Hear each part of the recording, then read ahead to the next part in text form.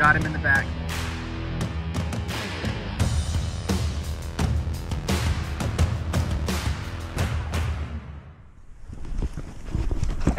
Oh, I think I got it. Everybody meet Ty Phillips, aka the Shed Master Hunter. He's the reason we're gonna find some sheds tonight. Um, right, Ty? anyway, we're out and at it again. Hopefully, we have a little bit more luck than we did last night, than I did last night. Stay tuned. All right, Ty just gave the word. He says he found a he found a monster. Is that what I heard? Oh. Sweet. Is it brown or just brown with dirt? Yeah, that's pretty sweet. Pose. you got a better pose than that, don't you? Nope. First shed of the year, ain't it? Heck yeah. You're kidding, you found one? All right, let me walk back over there. I think we should switch lines.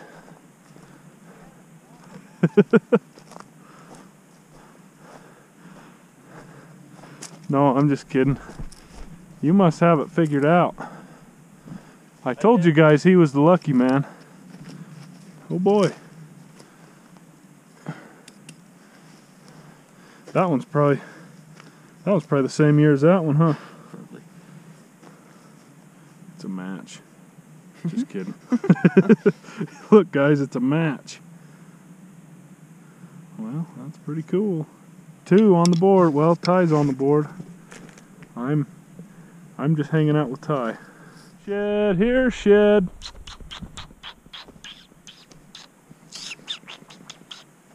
If only a shed was a coyote. I still wouldn't be able to call one in, probably.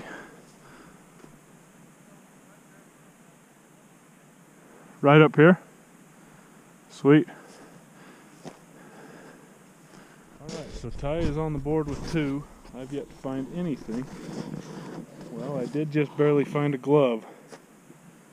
And that's about it.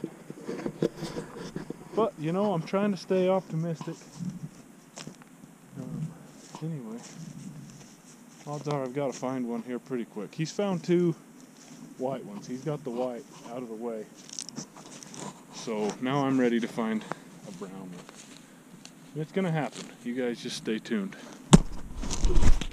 Well, once again, it is getting dark on us. And let's see, quick tune in. I still haven't found a shed. Ty is at two.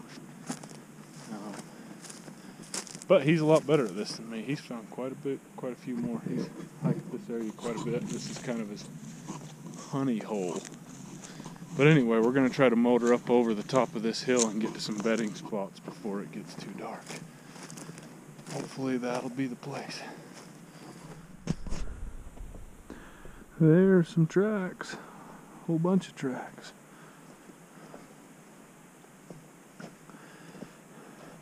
Stacy's mom has got it going on.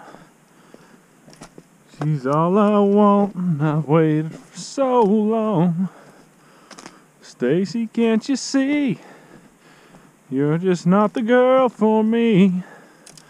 I know it might be wrong, but I'm in love with Stacy's mom.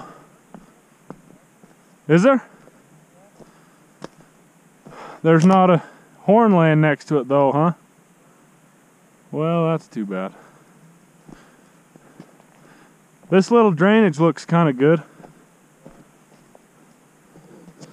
See what we find. Well, as you can see, it's getting pretty dark, almost too dark to see a shed. So, this may be it for today. Hopefully, you enjoyed this episode.